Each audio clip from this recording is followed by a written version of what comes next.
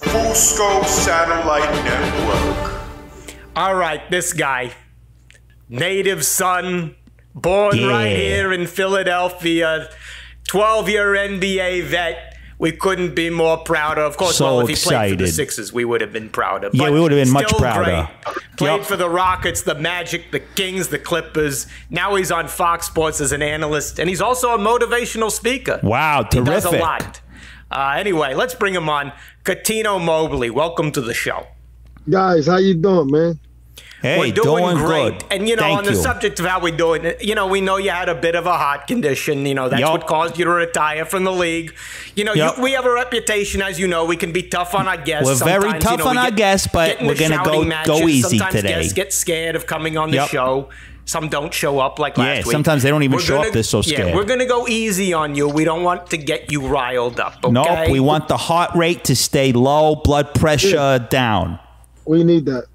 Okay. Yeah, good. exactly. Okay, so here's why we brought you on today. Obviously, you played for the Orlando Magic in 2004, the year after Doc Rivers got fired. Of course, you know, in the last season that Doc was there, that team they finished an embarrassing 21 and 61. But Oh, then horrible. You, you came in, and so did their new coach Johnny Davis. They improved to a highly respectable 36 and 46, which is good for the Magic. You know. Yeah. When you showed up, tell us, Cuttino, how relieved in the building were people that, you know, Doc was finally out of there?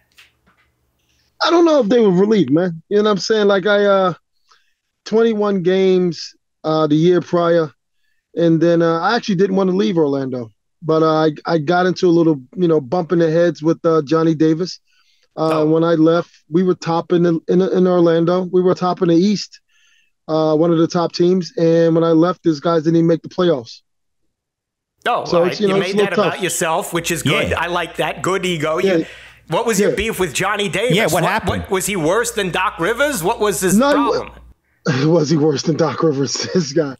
No, um, Doc wasn't bad. Listen, Doc's never coached me. I think Doc's a good dude. Uh, but Says you. Yeah. you know, says um, as far as um, Johnny, um, you know, he, Steve Francis and I were at that time, you know, ex, you know, backcourt of excitement for the NBA, and you know, the team that we had, I, I you know, I didn't want to share time with our rookies, and you know, the, the reason there was success on our team at the time I was there.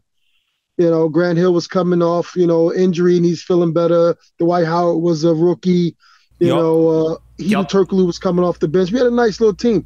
So, Yeah. you know, he, he thought that the scheme and everything was his. And, you know, come to find out the team broke up, you know, it's kind of like it just wasn't what it was when I left. So what you're saying there is that Johnny Davis is equally a shitty coach as Doc Yeah, Rivers. just as that- much as Doc, it sounds there? like. Just so I follow. Yeah, that's what it sounded like. Nah, Listen, I don't, I'm, all I'm saying is uh, we, we didn't go to the playoffs that year. They didn't go to the playoffs that year. There you All go. right, but you know, you know, just I have a question for you since you played the game. You know, Doc Rivers, he's had like a 20 year case of laryngitis. Yeah. He can't understand a word this Yeah, guy's saying. guy can't Tell talk. me as a player, how important is it to actually be able to hear and understand your coach when he's talking? Uh, I don't know. Uh, Oh, that's a good. There see, you there go. You go. There's a good He's doing a Doc impersonation. Rivers impression. listen, ladies. listen, listen, guys. Yeah. Listen, I screamed a lot when I was younger. I don't know. You know, I I think Doc's a, a I think Doc, you know, he's a very he's not a a Stan Van Gundy. He's not a Jeff Van Gundy. And he's very talented as a coach, but I just think the personality of Doc, he's not pushy. So in not being pushy, people practice bad habits throughout seasons. And because you're not pushy and you know guys just do what they want to do. And when it, it starts to show in the playoffs, and that's the that's the bad thing about the situation with Doc. You know, one of the rumors that we're hearing with the head coaching vacancy for the Sixers is former Raptors coach Nick Nurse. But don't you think that would be a downgrade going from Doc to a nurse? Yeah. I mean, they both won a championship. Doc don't have more championships than him. Yeah, but you know, as a man who suffers from a heart condition, I just want to know, you know, who would you rather see? You know, if they say the doctor's out, here's a nurse, wouldn't that bother you? Yeah. No, no, because nurses do more work. No, you have respect for nurses. Yeah. Yeah. Yeah. Well, you know, nurses you've do been- more work. This is a man who, who you you have the experience here. Yeah, you the do. hospital record. Yeah, you don't. But just back to the Sixers. yeah. You know, people are saying the Sixers season was a failure. But when you look at it, Joel Embiid won a title. Yeah, he won the title. Scoring title. A scoring title That counts. is harder to win. Yes. You got to beat the Yeah. 600 people in the league, even people on your own team. Wouldn't you agree? Scoring title More impressive. than NBA title. Get out of here. Are you serious? What are you guys on? Dope or Oh. dog food? Oh, You out what? your mind? Excuse A scoring me? title? Yeah. Oh. Score title. Hold on. Yeah. I don't want you to get too upset. Yeah, here, we could tell your Cuttino. blood pressure's like Just- 136 over 82. Hold or- on, dope let's bring it back food? down. Which one is it? Do- dope or dog food? Which one is it? I'm trying to figure out. Are you out. kidding me? He had to beat out You know, I think 500 you're players jealous in the 'cause He doubled your score. Yeah. You're jealous of Joel Embiid. What was your career high in the Yeah, season? 15? exactly. He had 32. Yeah. No, my career high in the season is 22. Uh, was that heartbeats? Heartbeats? 22 heartbeats per season? Yeah, that's what we're talking here. Okay, listen, I'm gonna tell you this. What? How did that work out with you being the, the, the scoring leader? How'd that Doesn't work out? matter. Tell me You how that focus Doesn't worked out. on the matter. wrong We, thing. We we got got, a a title, title. already. What do you mean You know- it don't matter? Doesn't What matter. do you mean it don't matter? You brought it up. You, this is a sore subject for you. I can Yeah. tell why. Because you never played for the Sixers, right? Exactly. You wish you, did, wish you played for the Sixers. No, I do not. No, I do not. yeah, you don't. Oh, he's getting a little agitated. No, I here, love- Tony. I love We, Philadelphia. we probably just want to take it down a I love notch. Okay, okay, you know you're what we're gonna do? We're gonna move to a better topic, a more a more positive note for you. Yup. We want to talk about how you almost got traded to the Knicks, right? And then this was in the late 2000s, and then they brought you in for a medical evaluation, and they found you had this heart condition. How glad at that point were you for that heart condition? Do you go back and think of the years of your life you would have lost had you had to play for such a terrible organization? Um, at the time, Dan uh, D'Antoni was the coach. I wouldn't mind playing with D'Antoni, but I, I wasn't really a fan of uh, the guy Dolan, the owner. Wasn't a fan of him.